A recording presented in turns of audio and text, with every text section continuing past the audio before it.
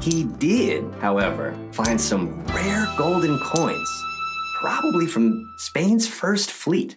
The one from East India had a starfish on the front, while the Spanish coin had a cross. Both are very beautiful and very hard to find.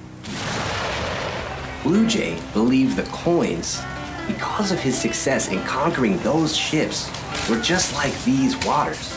You see, holding special power.